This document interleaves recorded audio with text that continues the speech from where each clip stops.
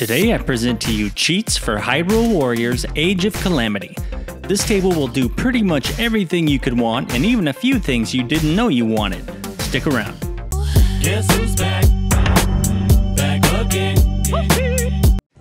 In our line of work, accidents happen.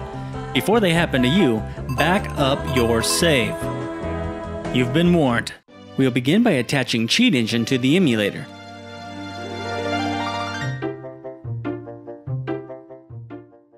The first set of cheats are for use in battle.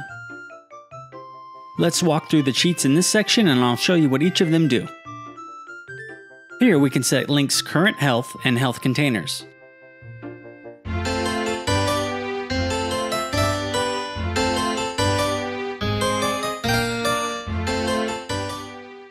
We can use the Super Move Gauge cheat to fill up Link's super meter.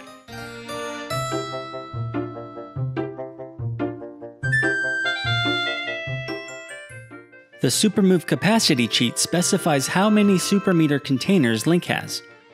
The Activate Super Meter cheat will fill your meter and make it ready to use. You can edit enemy KOs here.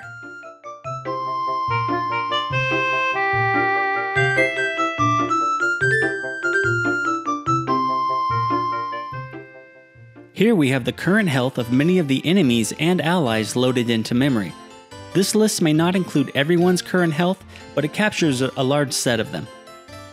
If you don't want to modify these individually, that brings me to my next cheat, exclusive for my Patreon supporters One Hit Kill. This cheat gives your main character infinite health and sets all enemy health to zero, so it only takes one hit to kill them. Small side effect is the soldiers also die in one hit.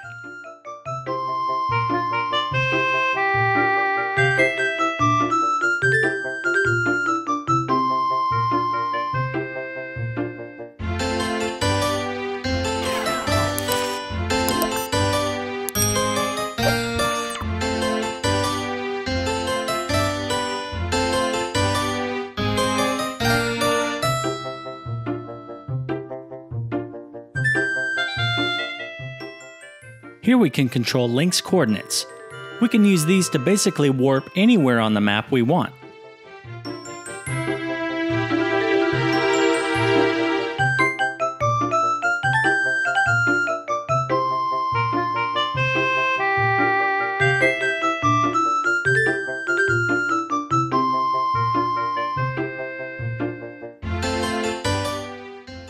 That covers most of the in battle features, but where this cheat table is really powerful is in the stats and inventory menus.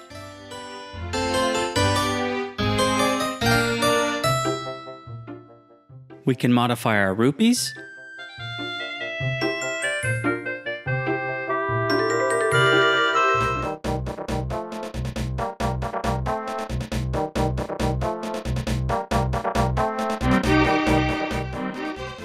Here we can modify the EXP of any of our unlocked characters.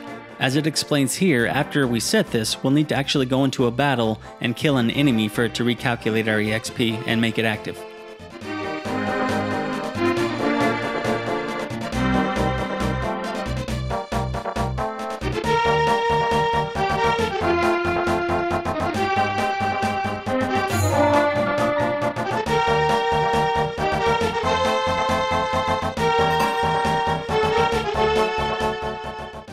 The materials cheats require two things unlocking materials and setting their quantity.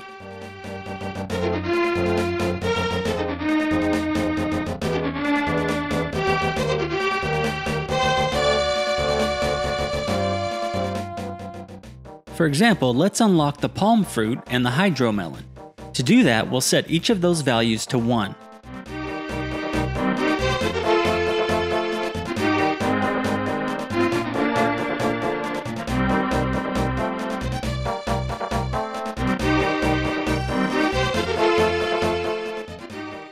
Then we'll come over to the materials quantity area and set a quantity for each of those items.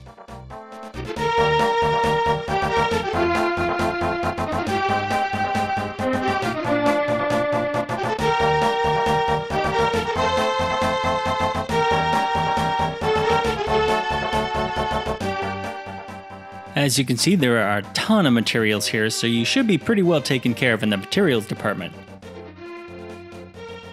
Weapon Editor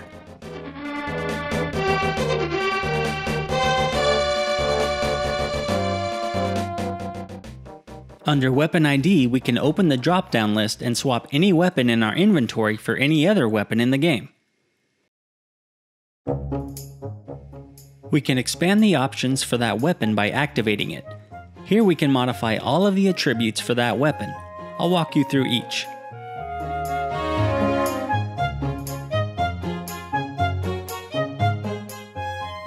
First, we'll set our weapon EXP and weapon level. The higher our weapon level, the more seals we'll be able to apply to our weapon.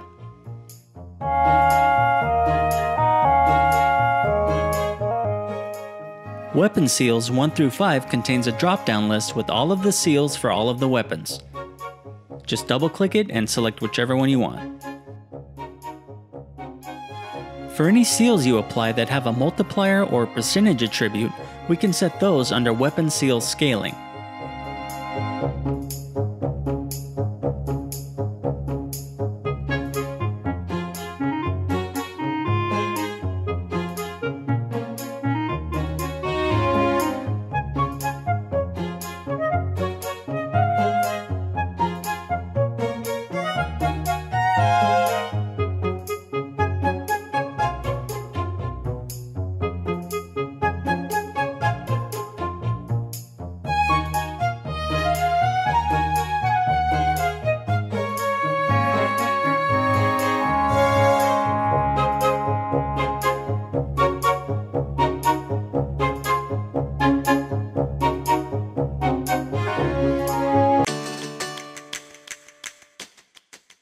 That brings me to another exclusive feature for my Patreon supporters character unlocks. Here we can unlock any character in the entire game. To unlock a character, we'll just set a value of 1 next to each character. After we unlock a character, we'll have to set their health, give them a weapon, and an armor.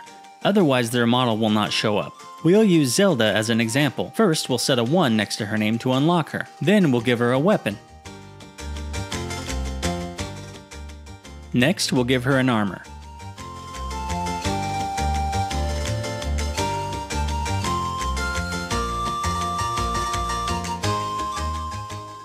Finally, we'll raise her health.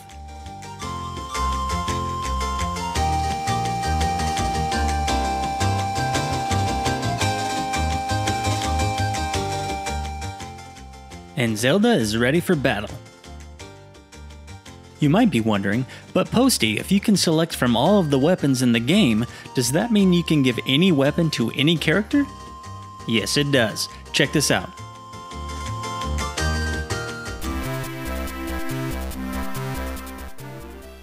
Let's see what happens if we try to give Princess Zelda the Master Sword.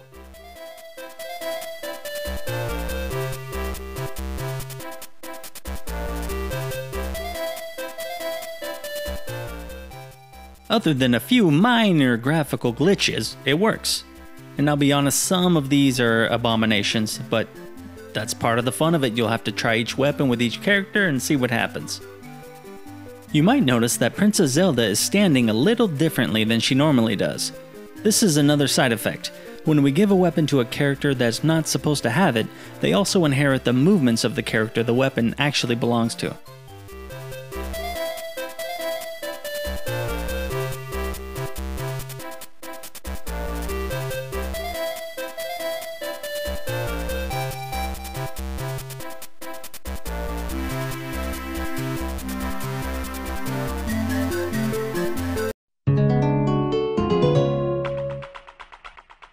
Here's another example where I give Link Impa's weapon.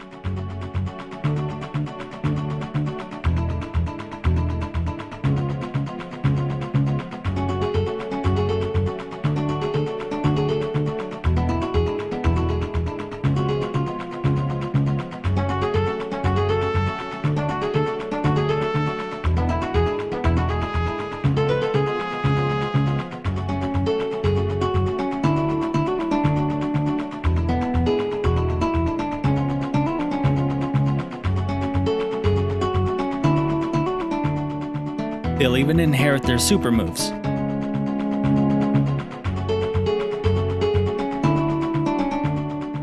Now, if you don't want to spend the time to unlock individual characters and get them set up, we have a cheat here that will do all that for you.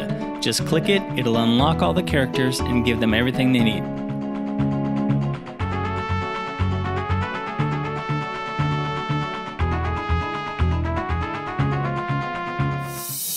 And that'll do it for this Hyrule Warriors Age of Calamity cheat table demo. Shout out to Carlos M on my Discord for the tremendous amount of work he put into bringing these features to us. Thank you. If you're seeing this video, it means the cheat table is live on my Discord. Head over there and grab it. If you're a Patreon supporter, I'll include this with the extra features in a post as well as the Patreon area of my Discord. Thanks for watching.